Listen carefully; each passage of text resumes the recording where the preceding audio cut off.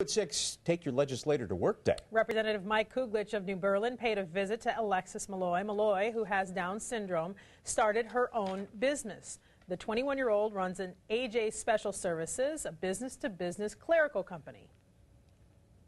And I think it just shows uh, not only legislators but the public today, like you know, like today, is that um, people with Down syndrome can be very productive and can work on their own.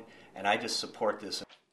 Malloy is the first person in Waukesha County to start her own business with help from the state's new self employment program for people with disabilities.